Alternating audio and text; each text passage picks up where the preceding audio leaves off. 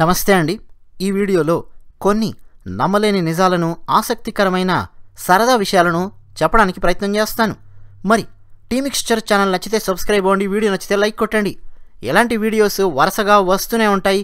దీని ఒక సిరీస్ లాగా మేము చేస్తూ ఉన్నాం. ఇక విషయానికి వస్తే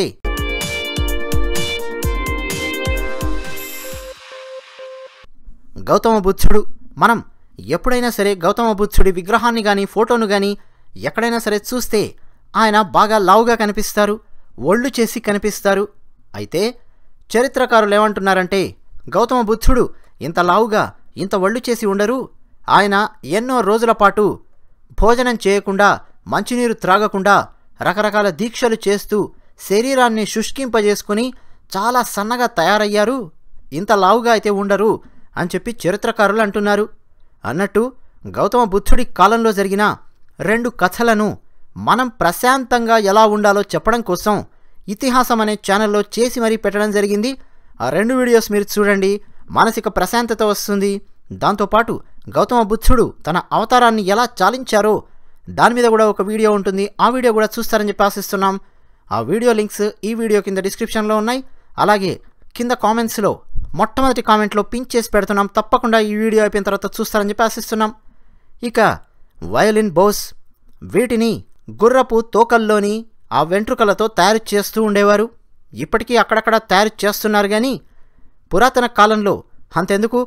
ఇరవయవ శతాబ్దంలో కూడా గుర్రపు తోకలోని వెంట్రుకలతో వయలిన్ బోస్ను తయారు చేస్తూ ఉండేవాళ్ళు.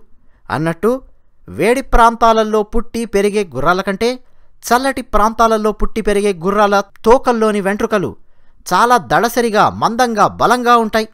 ముఖ్యంగా రష్యాలోని సైబీరియా మంగోలియా కెనడా ఈ దేశాలలో పుట్టి పెరిగే గుర్రాల తోకల్లోని వెంట్రుకలు మందంగా బలంగా దడసరిగా ఉంటాయి. వాటిని తీసుకొని వయోలిన్ బోస్లో ఆ స్ట్రింగ్స్కు ఉపయోగించుకుంటూ ఉండేవారు. అన్నట్టు ఇప్పుడు సింథటిక్ హెయిర్ని ఎక్కువగా ఉపయోగిస్తున్నారు.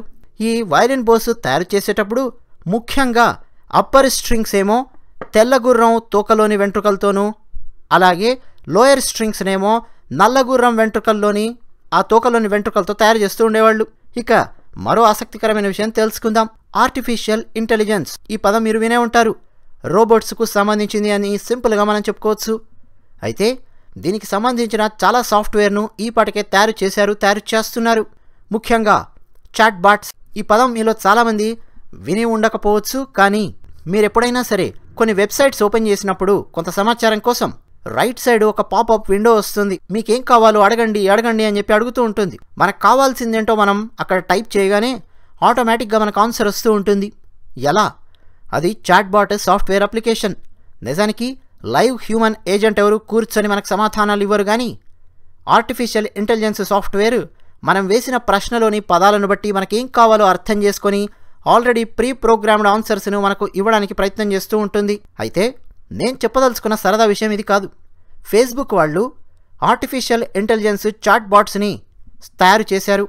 రెండు చాట్ బాట్స్ని తయారు చేసి మీరిద్దరూ మాట్లాడుకోండి అని చెప్పి ఆ సాఫ్ట్వేర్స్కి కమాండ్స్ పంపించారు. ఆ రెండు సరదాగా చాటింగ్ చేసుకోవడం మొదలెట్టాయి. అయితే క్రమక్రమంగా వీళ్ళు కమాండ్స్ పెంచుకుంటూ వెళ్ళారు. స్వాపింగ్ అని చెప్పి ఒక చిన్న ప్రోగ్రామ్ ఇచ్చారు. హ్యాట్స్ని బాల్స్ని బుక్స్ని స్వాప్ చేసే విధంగా మీరిద్దరూ మాట్లాడుకోండి అని చెప్పి వాటికి కమాండ్ ఇస్తే ఇక ఆ రెండు ఏం చేసాయో తెలుసా? అసలే రోబోట్స్ ఆర్టిఫిషియల్ ఇంటెలిజెన్స్ సాఫ్ట్వేర్. వాటికి కావాల్సిన భాషను అవి డెవలప్ చేసుకున్నాయి. అది అత్యంత వేగంగా డెవలప్ చేసుకున్నాయి. వేగంగాను అత్యంత కన్వీనియంట్గాను మాట్లాడడం కోసం ఒక కొత్త రకం భాషను డెవలప్ చేసుకొని ఆ రెండు మాట్లాడుకోవడం మొదలెట్టాయి. అసలు ఆ రెండు ఏం మాట్లాడుకుంటున్నాయో వాటిని తయారు చేసిన వ్యక్తులకే అర్థం కాని పరిస్థితి. కొద్ది రోజులు చూశారు. అవి అలాగే మాట్లాడుకుంటూ ఉన్నాయి. అదే గనక కొనసాగిందంటే ఆ తర్వాత అవి ఏం చేస్తాయో అర్థం కాదు. అది వినాశనానికి దారి తీస్తే సమస్య వస్తుంది. అందుకని ఆ రెండు సాఫ్ట్వేర్స్ను కూడా ఆపేశారు.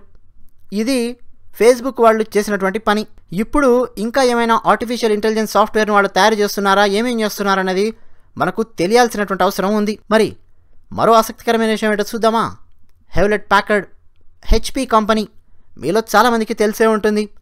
ల్యాప్టాప్స్ను స్కానర్స్ను ప్రింటర్స్ను అంతెందుకు? చాలా హార్డ్వేర్ వస్తువులను అది తయారు చేస్తూ ఉంటుంది. చాలా ఫేమస్ కంపెనీ అంతర్జాతీయంగా ఎంతో పేరు ప్రఖ్యాతులు ఉన్నటువంటి కంపెనీ ఎందరో ఎంప్లాయీస్ పనిచేస్తూ ఉంటారు. నైన్టీన్ థర్టీ ఫైవ్లో అమెరికాలోని స్టాన్ఫర్డ్ యూనివర్సిటీ నుంచి బిల్ హెవ్లెట్ డేవిడ్ ప్యాకర్డ్ అనే ఇద్దరు ఎలక్ట్రికల్ ఇంజనీరింగ్ స్టూడెంట్స్ గ్రాడ్యుయేషన్ పూర్తి చేసి బయటకు వచ్చారు ఆ తర్వాత వాళ్ళ కార్ గ్యారేజ్లో కంపెనీని స్టార్ట్ చేశారు. క్రమక్రమంగా కంపెనీని డెవలప్ చేస్తూ వెళ్ళాక ఓ నాలుగేళ్ళ తర్వాత అంటే నైన్టీన్ థర్టీ నైన్లో మన కంపెనీకి ఏం పేరు పెడితే బాగుంటుంది అని చెప్పి ఇద్దరు సరదాగా బీర్ తాగుతూ చర్చించుకోవడం మొదలెట్టారు. ఏముంది? మన ఇళ్ళ పేర్లు ఉన్నాయి కదా మన సర్నేమ్స్. హెవ్లెట్ ప్యాకర్డ్ ఈ రెండు కలిపి పెట్టుకుందాం అని అనుకున్నారు. మరి హెవ్లెట్ ప్యాకెడ్ పెట్టాలా? ప్యాకెడ్ హెవ్లెట్ పెట్టాలా అన్న చర్చ వచ్చింది. అంటే హెచ్పి అని పెట్టాలా? పిహెచ్ అని పెట్టాలా అన్న చర్చ. సరే దాందే ఉంది టాస్ వేద్దామని చెప్పి అనుకున్నారు. ఇద్దరు కలిసి సరదాగా టాస్ వేశారు. ఆ టాస్లో హెవ్లెట్ గెలవడంతో అతని పేరులోని అంటే సర్నేమ్లోని మొట్టమొదటి అక్షరం కంపెనీ పేరులోని మొట్టమొదటి అక్షరంగా మారిపోయింది. హెచ్పిగా మారిపోయింది. ఒకవేళ డేవిడ్ ప్యాకర్డ్ గనక ఆ టాస్ గెలిచింటే ఈరోజు ఆ కంపెనీ పేరు పిహెచ్ ప్యాకర్డ్ హెవ్లెట్ అని చెప్పి ఉండేది. అది విషయం. ఇక దద్ది బ్యాచ్. దద్ది బ్యాచ్ ఎక్కడైనా ఉంటారండి? వాళ్ళ గురించి సరదాగా మాట్లాడుకుందామా? అమెరికాలో పాలతో పాటు చాక్లెట్ మిల్క్ కూడా అమ్ముతూ ఉంటారు. చాలామంది చాక్లెట్ మిల్క్ను ఇంటికి తీసుకెళ్ళి ఫ్రిడ్జ్లో పెట్టుకొని సాయంత్రం పూట తాగుతూ ఉంటారు.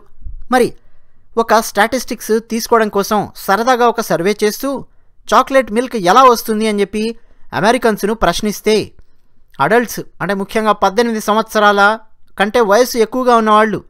ఏడు శాతం మంది అమెరికన్స్ ఏం సమాధానం ఇచ్చారో తెలుసా? చాక్లెట్ మిల్క్ బ్రౌన్ కలర్లో ఉండే ఆవు నుంచి వస్తుంది. ఆవు పాలు పిండితే వస్తుంది చాక్లెట్ మిల్క్ అని చెప్పి సమాధానం ఇచ్చారు. సరదాగా కాదండోయ్ సీరియస్గా సమాధానం ఇచ్చారు వాళ్ళకు తెలియదు అది పరిస్థితి. అంతెందుకు? మన దగ్గర కూడా కొంతమంది స్టూడెంట్స్ని బియ్యం ఎలా వస్తుందో తెలుసా అని అడిగితే బియ్యం సంచుల్లో నుంచి వస్తుంది బ్యాగ్స్లో నుంచి వస్తుందని చెప్పి సమాధానం ఇస్తారు. అది ప్రపంచంలోని పరిస్థితి. ఇక మరో సరదా విషయం మాట్లాడుకుందాం. నైన్టీన్ నైంటీ సిక్స్లో అమెరికాలో స్క్రీమ్ అని చెప్పి ఒక సినిమా రిలీజ్ అయ్యింది. ఆ సినిమాలో విలన్ ఒక అమ్మాయికి ఫోన్ చేసి నీ ఫేవరెట్ హర్రర్ మూవీ ఏంటి? అని చెప్పి అడుగుతాడు. ఎవడీడు మాట్లాడేది? అని చెప్పి అమ్మాయి ఫోన్ పెట్టేస్తుంది. ఆ తర్వాత కంటిన్యూగా ఫోన్ చేసి కొంత సాడిస్టిక్గా ప్రశ్నించడం మొదలు పెడతాడు. నేను నీ బాయ్ ఫ్రెండ్ స్టీవ్ని కిడ్నాప్ చేశాను. మర్యాదగా నేను వేసే ప్రశ్నలకు సమాధానం చెప్పు అని హర్రర్ సినిమాలకు సంబంధించిన క్వశ్చన్స్ అడుగుతూ ఉంటాడు. ఆమె ఒక్క ప్రశ్నకు సరిగ్గా సమాధానం చెప్పకపోయినా సరే ఆమె బాయ్ ఫ్రెండ్ను పైకి పంపిస్తాను అంటాడు. ఆమె ఒక ప్రశ్నకు సమాధానం తప్పు చెప్తుంది. దాంతో ఆమె బాయ్ ఫ్రెండ్ స్టీవ్ని పొట్టన పెట్టుకుంటాడు. అదిగో అలా సాగుతుంది ఆ సినిమా స్క్రీమ్ అన్నట్టు ఆ సినిమాలో ఎక్కువగా ఆకట్టుకునేది ఫోన్ కాల్. ఫోన్ కాల్తో విలన్ భయపెట్టడం ఆ నైన్టీన్ నైన్టీ సిక్స్ మూవీలో ఒక సంచలనంగా మారింది. ఆ దెబ్బకు అమెరికాలోని దాదాపు డెబ్భై శాతం మంది తమ ఫోన్స్ను మార్చిపారేశారు. అప్పటి వరకు ఉపయోగిస్తున్న పాతకాలం ఫోన్స్ని పీకిపారేసి కాలర్ ఐడి ఉండే ఫోన్స్ను కొనుక్కున్నారు. ఎందుకంటే ఎవరైనా తమల్ని భయపెట్టడానికి ఫోన్ చేస్తే అందులో కాలర్ ఐడి పడుతుంది కాబట్టి దాన్ని చూసి ఆ వ్యక్తి ఎక్కడి నుంచి ఫోన్ చేస్తున్నాడో కనీసం కనుక్కోవచ్చు రిస్క్ తక్కువగా ఉంటుంది అని చెప్పి కాలర్ ఐడి ఉన్న ఫోన్స్ను కొనుక్కున్నారు. అది స్క్రీమ్ సినిమా ఇంపాక్ట్. మరి మరిన్ని ఆసక్తికరమైన అంశాలను మరో వీడియోలో వచ్చే వీడియోలో మాట్లాడుకుందాం. తప్పకుండా టీమిక్స్చర్ ఛానల్కు మీరు సబ్స్క్రైబ్ అవుతారని వీడియో నచ్చితే లైక్ కొడతారని చెప్పి ఆశిస్తున్నాం. ధన్యవాదాలు.